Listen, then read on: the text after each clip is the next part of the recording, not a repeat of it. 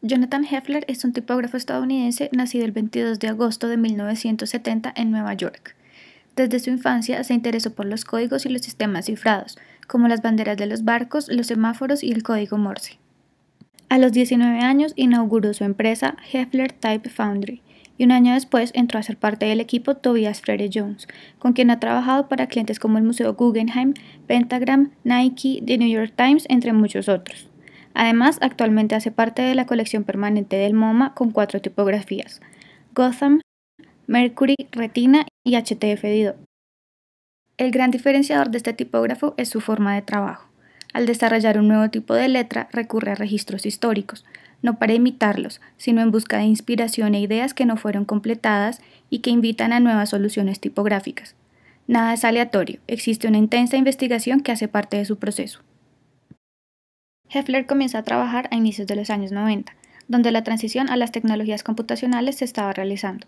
Programas como Python y FontLab estaban permitiendo a novatos y a veteranos crear una nueva generación de tipos digitales. A continuación, los ejemplos más representativos de su obra, donde se evidencian sus principales inquietudes como tipógrafo, el componente histórico y la adaptación al ambiente digital. Heffler Text es su obra pionera al incursionar en el diseño digital. Fue licenciada por Apple para ser incluida en el sistema operativo 7 de Macintosh. Toma como referente histórico los conjuntos extendidos de ligaduras del siglo XV y los arabescos arquitectónicos del Renacimiento. Requiem fue un intento para saber si una tipografía podría capturar todas las virtudes del grabado y el humanismo. Está basada en las capitales de inscripciones que aparecen en el manual de escritura de 1523 de Vicentino Arrighi, un calígrafo romano. The Proteus Project es una superfamilia diseñada bajo la idea de que sean intercambiables. Su referente histórico es el siglo XIX y el nacimiento de la publicidad moderna.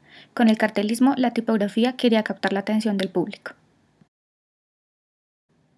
Historical Sorts es una colección que utiliza técnicas digitales para lograr resultados que se asemejen a lo hecho a mano. En ellas se pretende registrar, más que interpretar los referentes históricos. Fue un proyecto donde no influyeron los instintos editoriales y se obtuvieron resultados orgánicos, cálidos y con mucha textura. HTF Didot hace honor a un heroico periodo en la historia de la tipografía francesa. Creada especialmente para la revista Harper's Bazaar, se basa en las tipografías modernas caracterizadas por un estrés horizontal, serifas planas y alto contraste entre los trazos. Knockout se inspira en las tipografías de los afiches de circos del siglo XIX, las sans serif estadounidenses. En esta época, las sans serif no eran agrupadas en familias tipográficas, lo que implicaba variaciones no relacionadas entre las letras. Heffler mira el estilo humanista de inicios del siglo XX para desarrollar Ideal Sans, con personajes como Edward Johnston, el diseñador del alfabeto del subterráneo de Londres, y Eric Gill con Gill Sans en 1926. Es más cercana a las proporciones clásicas que industriales, casi no tiene líneas rectas.